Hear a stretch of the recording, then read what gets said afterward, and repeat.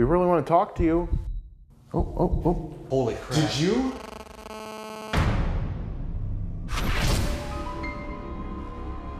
Is this Eliza we're talking to? Is it hard for you to talk to us so we can hear you? Is being alive the same as being dead?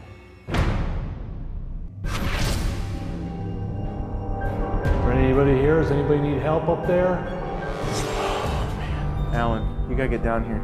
There's someone in here that would like to talk with us? Or are you trying to hide? The door's open? Yeah. Oh. Did you hear that voice? Yeah, I heard a voice. I swear it said yes. Something's happening. Something's going on here. Like right here? Are you right here? Seconds later, it just powered on by itself. Do you not belong to anybody that was here at the lighthouse and you're just a wandering spirit? I'm feeling so weird right now. Is there someone in here that's touching Chris? Is it hard for you to push things around? Did you hear that? That's a girl voice. Sound like a woman.